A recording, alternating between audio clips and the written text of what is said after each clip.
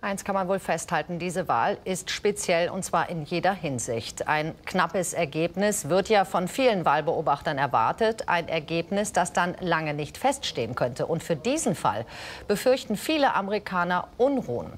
Die rechtsextremen Milizen, sie sind im Aufwind. Schlägertrupps wie die Proud Boys zum Beispiel fühlen sich vom amerikanischen Präsidenten quasi berufen.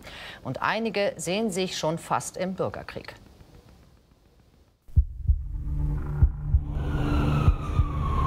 Es war ein Wahlkampf im wahrsten Sinne des Wortes. Ein Kampf, in dem immer seltener Worte die Waffe waren, sondern Gewalt. Trumps Wähler gegen Bidens Wähler, rechts gegen links. In der Stadt Portland in Oregon blieb es nicht bei Verletzten. Ein weißer Nationalist wurde von einem Linksradikalen ermordet, nachdem Demonstranten und Gegendemonstranten aufeinander gestoßen waren. In Michigan vereitelte das FBI die Entführung von Gouverneurin Gretchen Whitmer. Sechs Mitglieder der radikalen Gruppe Wolverine Watchmen wurden festgenommen. Sie hatten offenbar geplant, die Regierung des Bundesstaates zu stürzen. In Kenosha im Bundesstaat Wisconsin erschoss ein 17-Jähriger zwei Demonstranten. Er wollte nach eigener Aussage für Recht und Ordnung sorgen mit einem halbautomatischen Gewehr. Recht und Ordnung, die die Polizei in den vergangenen Monaten oftmals nicht garantieren konnte.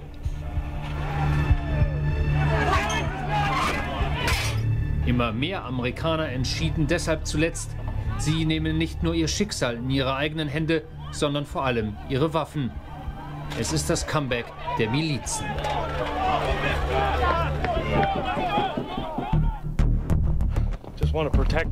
Ich will unseren Staat, unser Land verteidigen, unsere Freiheit, unsere Verfassung.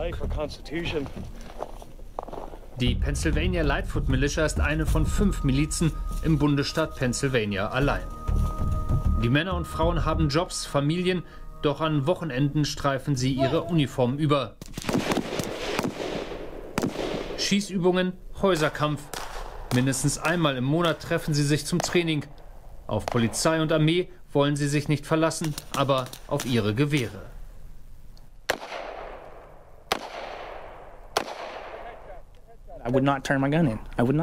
Ich würde niemals meine Waffen abgeben, niemals. Genauso wenig, wie man mir verbieten kann zu sagen, was ich sagen will oder mein Recht auf einen fairen und zügigen Prozess.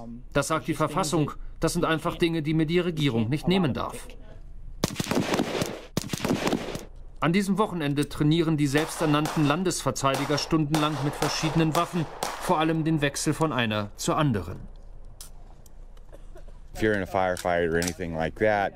Wenn du dich in einem Feuergefecht befindest, wird früher oder später eine deiner Waffen streiken und du musst in der Lage sein, schnell auf eine andere zurückgreifen zu können.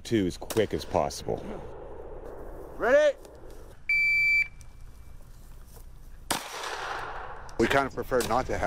Wir würden es gewissermaßen bevorzugen, die Waffen nicht einzusetzen.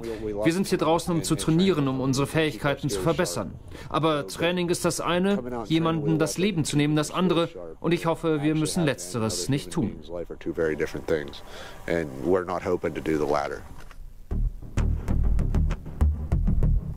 Vor Jahren ging es darum, vorbereitet zu sein.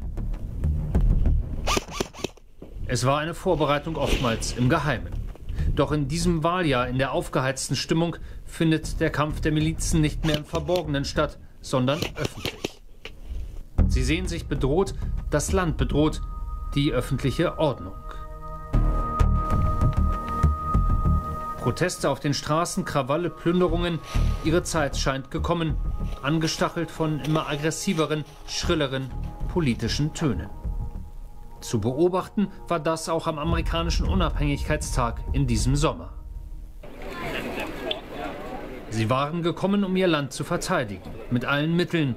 Milizionäre aus Pennsylvania, Virginia, Maryland sind in der Stadt Gettysburg unterwegs. Sie sehen die Vereinigten Staaten in einer Art Kriegszustand. Es ist ein Kampf der Linken gegen uns normale Amerikaner. Die wollen unsere Geschichte zerstören, wir wollen sie bewahren. Und dafür haben die Milizionäre aufgerüstet. Halbautomatische Gewehre, wohin man blickt. Es wirkte, als hätten sie die Kontrolle in der Stadt übernommen, wie hier am Eingang zum Nationalfriedhof. Sie patrouillierten, sie beteten, die Waffen immer griffbereit. Auf den Schlachtfeldern von Gettysburg starben im Bürgerkrieg so viele Soldaten der Nord- und Südstaaten wie nirgendwo sonst im Land. Jetzt waren die Gewehre zurück, ganze Wagenladungen an Milizionären. Es war eine Machtdemonstration. Sie sagen, sie wollen die Denkmäler verteidigen, das Land generell gegen die Feinde von innen und das auch mit Waffengewalt. Wenn die hier aufkreuzen und den ersten Stein werfen, wenn sie uns attackieren, definitiv werde ich meine Waffe einsetzen. Ich habe kein Problem damit. Entweder Sie oder ich. Ich zögere keine Sekunde. Linke Demonstranten hatten im Vorfeld angekündigt, US-Flaggen in Gettysburg zu verbrennen. Von ihnen jedoch war weit und breit nichts zu sehen. Stattdessen tauchen weiße Nationalisten auf, das Hakenkreuz auf den Hals tätowiert. Dass der 4. Juli ein Feiertag ist, der Feiertag der Amerikaner schlechthin, davon war hier nichts zu spüren. Auch das Fahnenmeer konnte darüber nicht hinwegtäuschen. Wie viele Milizen insgesamt in den USA operieren, ist schwer zu sagen. 300 sind momentan in einem öffentlichen Register zu finden. Es dürften in der politisch aufgeheizten Stimmung der Trump-Präsidentschaft noch mal einige dazugekommen sein.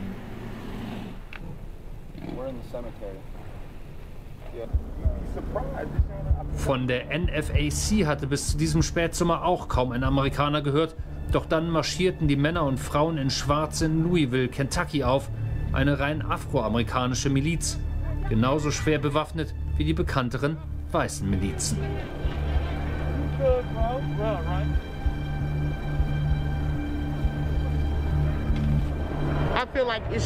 Ich finde, sagt sie, so weit hätte es eigentlich nicht kommen dürfen, aber so ist es nun mal und ich hoffe nur, dass es friedlich bleibt und dass nicht irgendetwas Verrücktes passiert. Es geht um Gerechtigkeit für alle Beteiligten. And I hope it comes some type of justice. Like it's crazy. You feel me? I believe in on both sides. Dann fallen Schüsse.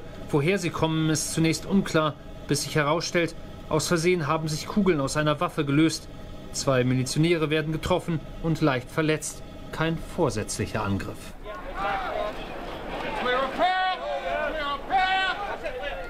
Es kommt dennoch zu Reibereien am Rande, als ein weißer Gegendemonstrant auftaucht und ebenfalls bewaffnet ist. Schwarze Milizen für schwarze Amerikaner, weiße Milizen für weiße Amerikaner, so scheint es.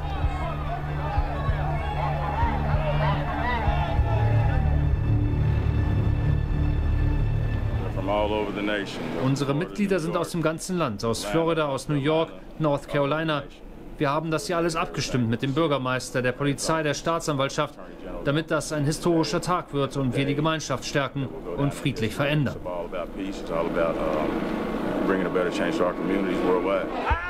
Der Marsch durch die Stadt wirkt jedoch eher martialisch. Es ist ein klares Zeichen auch an den Staat, wir sind hier, um unsere Interessen, unsere Rechte zu verteidigen, mit allen Mitteln. Es ist ein Amerika, das die Welt in den letzten Jahrzehnten so nicht erlebt hat.